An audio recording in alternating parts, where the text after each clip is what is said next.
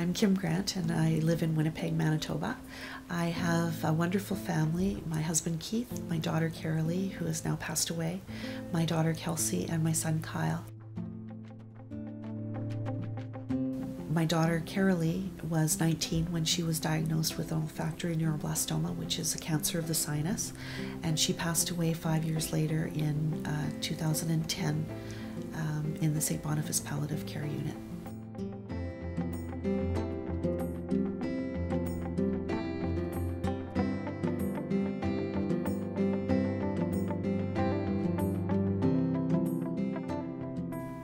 Were going back for that second bout of chemo and she decided she wanted quality of life over quantity of life and she said i can't do it anymore and she actually had a little bit of a meltdown and i said hang on don't be pulling stuff out. I'll go get the doctor. And we had a wonderful doctor. He was there within minutes. And he said, Karalee, I absolutely understand what you're what you're saying and I'll take it out. He said, I, I I'm not good at taking it out. He said, I'll get somebody to take it out. But if you want to take it taken out and you don't want to do chemo anymore, I respect your decision. And that was the last time she took chemo. It was really hard for us as parents because I had to phone Keith and say, come back and pick us up. And uh, because to me that kind of meant that what's going to happen now i don't have hope like I, chemo does give you hope because at least it's a, a, treatment and so you're always thinking that maybe maybe this next chemo will be the one that'll just get rid of those cancer cells or so it, it was a really hard time for us emotionally um, but for Karalee she was completely empowered. And she felt that finally she was taking charge of her own life and she really needed that. Um, she needed to feel that she had some decision over what was going on. And she her whole attitude changed. Um, she she got better just because of having that empowerment and uh, and not being forced to go to chemo the next day the thing that I, I wish was different is that we never had a doctor that was looking after her whole person. So, what we had was they seemed to be siloed into areas. We had a, a doctor who concentrated on the gamma knife on the brain, we had a doctor who was her ear, nose, and throat, and then her lungs was separate. And really, we needed somebody to look at all of it because her poor little body was deteriorating because of all the chemo, but they were more focused on what was happening in the, their particular area. So one day, I happened to be out with my girlfriend for it was Christmas time, just after Christmas, and I was out with my girlfriends uh, for dinner. And one of my girlfriends works for the Canadian Virtual Hospice, and we were sitting next to each other at dinner. And uh, I said to Brenda, "I don't know what I don't know what to do anymore because she's just in pain all the time." And Brenda looked at me and uh, she said, "Kim, I think it's time we talked about palliative."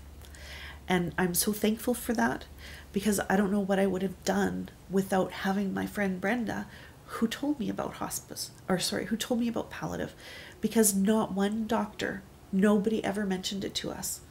And nobody ever it's like the elephant in the room. I would much rather know about it and never use it, but that's my choice, than not know about it and really need it. And that's what we needed. So I took away what Brenda had said and I went onto the hospice. I went onto the virtual hospice website and I, uh, I researched it and I sent in an email to the asked the doctor and I got an email back and from the information that I had read on the site, it, it did sound like she was making change. There was changes happening in her body that were on a regular basis now, and um, that's one of the signs that you know your body is starting to shut down a little bit. And um, so I called my girlfriend back a couple of days later, and I think the reason why I waited because if I called her, then it made it real, and I was really, it's a real struggle, you know. But you know it's for the best, and I don't, I you never want to see your child in pain, and that's that was the ultimate thing was she was in pain all the time. So we had to now approach Karalee about it, and uh, we told her it was just for pain management and she finally she agreed and then we got the doctor referral. And the funny thing is the doctor was he he was like why would you want why? Why would you want to go to palliative? And it was because i don't know what else to do for her. And as soon as the palliative we got into the palliative program it was amazing. We had a doctor come the next day to our house and we used to have to try and carry her and because her her legs hurt so bad and her she was in such pain it was so hard to move her the shaking of the car and all that. So he came to the house and uh, it was as simple as some doctor looking at her holistically and looking at her as a whole person not just focusing on one area of her of her illness. I think there's a real gap between doctors understanding what benefits palliative have and when they feel and I, I don't think it's they feel like they're giving up but i think it's it's really hard for them because they want to see improvement. That's what they do. They want somebody to get better. But i think there's a point in time when you have to realize wait a minute i think now we're at quality as over quantity. Uh, we went to palliative uh, at the st boniface hospital and uh, we had a, a wonderful fellow um, who was kind of like our quarterback. And anytime I had any questions about anything that she was going through, there was a, a tough time trying to figure out what drugs uh, would work for her to help her nerves and calm her down at night. And that was a really tough one. Like it, it's not a precise science as to which drug is going to work for which person. And um, so we had a couple of bad drugs that I don't know. I said, I never want those in my house anymore. Um, but Mark was our quarterback. He, he would hear me and I would call him whatever time and and he would help me through it. And uh, then he would say, you know what, Kim, I think it's time to bring her into the hospital because we really do need to look at what drugs are and, and we can help her a lot quicker um, by putting it through intravenous or whatever we ended up going into the palliative program one day. Um, she went in kicking and screaming because she didn't want to be there. And she, to know her, she's just such a sweet, easygoing kid. But when she didn't want to do something, didn't matter how sick she was, she wasn't going to do it. Um, and she was she was pretty spunky and, and tenacious, I guess is a good word. And she, uh, she I think that helped her probably throughout her career or her, her battle with cancer. But uh, so she went in kicking and screaming, and the doctor said to me, I will have her calm within three minutes.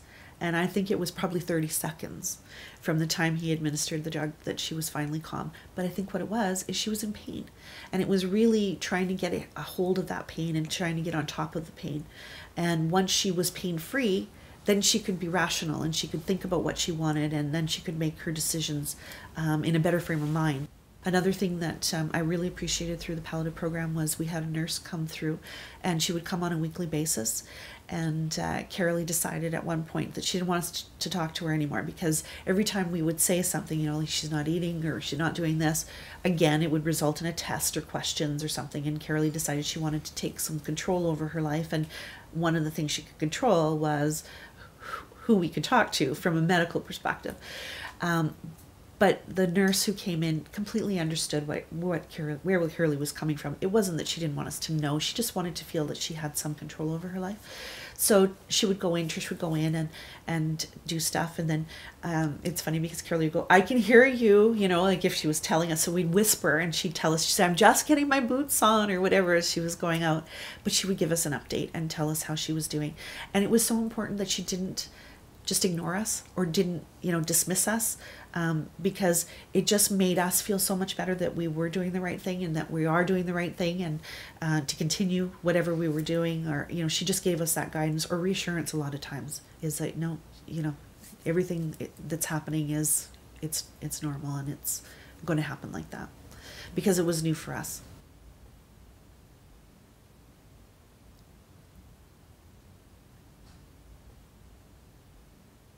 we were with her the whole time and uh, she was surrounded by people like by everybody that she loved when she passed.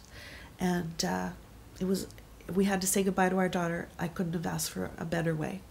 Um, it was it was very um, intimate and it was very emotional but it was very loving. And uh, i think that when she passed she passed on her own terms because she was talking right up to the end.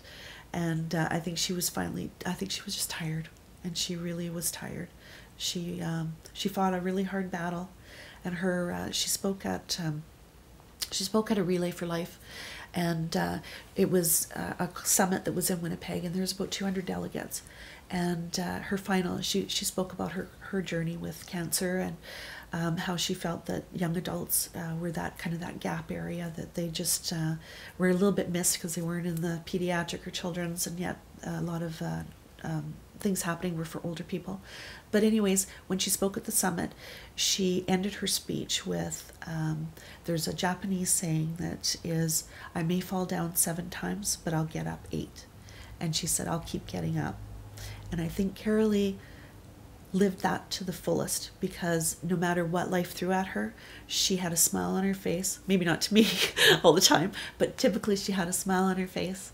And um, she wanted to change the world and I think that would be her if she, if she said, you know, I wanted to stick around for one more thing, I think it would be to make sure that everybody understood about young adult cancer and and that it can happen to you and to fight for what you you know if you feel that her biggest words were if you think something's wrong with your body don't let them tell that you tell you you're too young. Don't let them tell you you're not in the right demographic. Don't let them tell you that it's you know no no no that's not what it is.